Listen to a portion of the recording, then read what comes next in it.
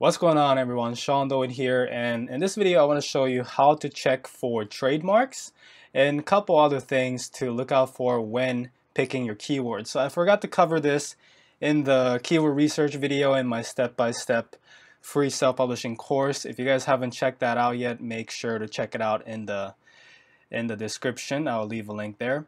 Um, but I will probably include this video in that course uh, right after the keyword research lesson uh, because what you want to do is when you're searching for keywords, you know, profitable keywords, you also want to make sure that it's not trademarked because once you start publishing trademark, you're risking getting sued and you definitely don't want to do it. So I'll show you how to how to um, check that. Very easy way of doing it. So let's get right into the video. Alright, so I got two examples for you guys. Uh, one is South Beach Diet. This is a full-on trademark keyword. It is a diet. Um, basically, South Beach Diet is a diet developed by Arthur Agatston. Okay, so it's literally you know made by this guy. It's not like a generic concept of diet, but like ketogenic diet or paleo diet. It's made by this guy, trademarked and everything. So there are some people that are publishing in this uh, in this keyword. As you can see like this guy this guy these are all self-published books right? That's kind of sketchy you know I, I, definitely would be scared if I was publishing in this keyword. And I'll check you uh, I'll show you how to check for trademarks. Basically what you want to do is go to um, I've already checked actually as you can see but you want to go to uspto.gov so let me go back to the home page here. So go to uspto.gov um, I'll leave the link in the description too. Then you go to trademarks, searching trademarks, and go to trademark electronic search system, basic word mark search. And once you get to the screen, before uh, I go further, I just want to leave a disclaimer that I'm not a lawyer. I'm not like a professional. This is how I check. I think I'm doing it correctly, but I'm just literally, I think, okay? So I'm not 100% sure you have to do your due diligence when you're checking the keyword. Um, and this is how I do it, but I can't like confirm it's 100% like fail-proof way of checking for the trademark. So when you're like in doubt, you know, when it's when if if it's iffy, right? If the keyword is a trademark or not, just just don't go into it. You know, there's a bunch of different keywords that is not trademarked and you know still profitable. You don't have to risk your account like that. So um, if you have to choose, always pick the safe side. But anyways, let me show you what I do. So you type in the keyword here, and you get all these results, right? First of all, the best case scenario, the best case scenario is you get nothing, like, um, Sean Dollwet. Because my name is not trademarked. So this is the best case scenario. No records were found. However, the you know if you do have um, keywords showing up or results showing up, you want to check if it's live or dead. Dead means the trademark uh, used to be there, but it's not active anymore. Live means it is still active. So then what you want to do is find uh, the one that is matching. Um, sometimes you get keywords that is like completely irrelevant like say you put in South Beach diet and you get like paleo diet, for example. You can ignore those, but if it's like, you know, your keyword plus some extra description like South Beach diet complete, South Beach diet gluten solution, you want to check those too. But mainly you want to check the exact word matches, so South Beach diets, that is live, okay? So you start opening these and what I do is I check for right here goods and services. Well, I pretty much check all of them, but you know I try to find out what the trademark is for, because just because it's trademark doesn't mean it's trademark for every single product in the world. Sometimes the the trademark is just for using the term South Beach diet for, in this case, food supplements, vitamins, mineral supplements, right? All kinds of supplements, but it doesn't specify books you know so if this is the only trademark um, and they're only specifying to this sub like services then you could potentially publish in books and it could be okay but I still wouldn't recommend it the reason why is because these guys who trademarked this term, you know, SBD Enterprises is basically South Beach Diet. So who created, you know, the the diet? They can always go back and trademark uh, additional products. So they can come come in later and just you know trademark books who's using the term South Beach Diet, right? So it could be a problem later, even if it's not right now. So you always want to kind of avoid that. Um, standard character mark, I'm assuming it's just you know the word South Beach Diet, and uh, you can see if it's live or dead trademark. Um, and then the disclaimer is also important because this is basically saying, you know, they're not making claim to the word diet. They're only making the claim to the combination of words South Beach Diet. Anyways, let me show you the case. So you keep checking, right? All the live ones.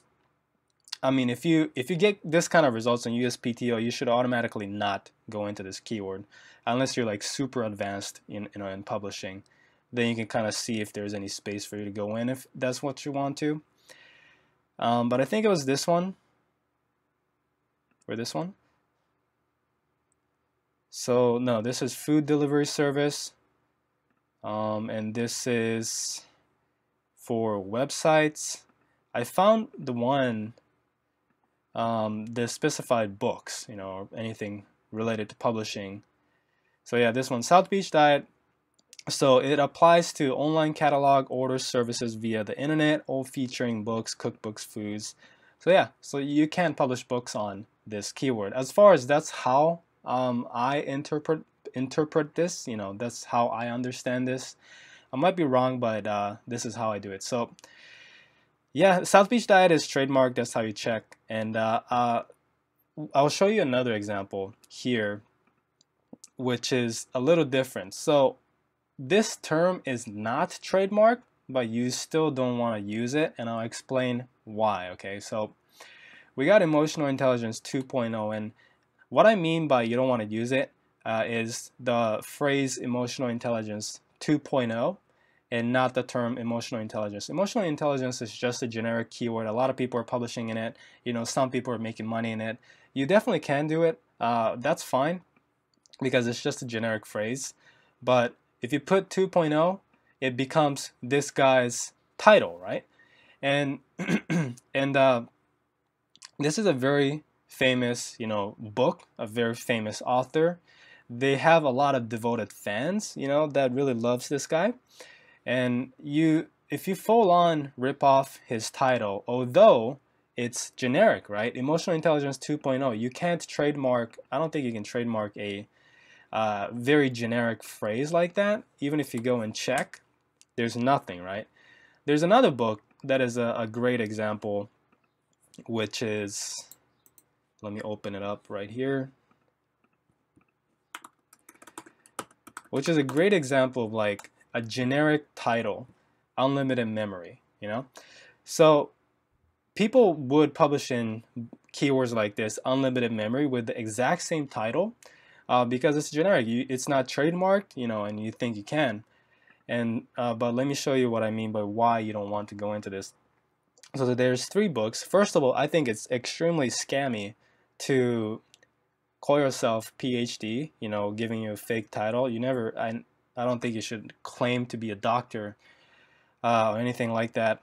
But another thing is, is um, right here. So this guy, David J. Goleman, right? It's, it's freaking, it's so scammy when people do this, Brandon Goleman. The reason why is because emotional intelligence was kind of coined by this guy, Daniel Goleman. So everybody's trying to come up with a pen name that is um, that is similar to confuse people, to confuse the buyers. Like the whole strategy is to confuse the customer into thinking you're this guy and getting your book uh, to be to be bought. That is like so scammy. It's crazy. Dale Goleman Brandon Goleman. That that's so bad. And the reason why it's bad is because you know, so there's you know it's basically the same reason, right? Same reason as you know straight up copying the title of a famous book or you know getting a similar author name because if you go down I think it was this book that had the review Um, this one.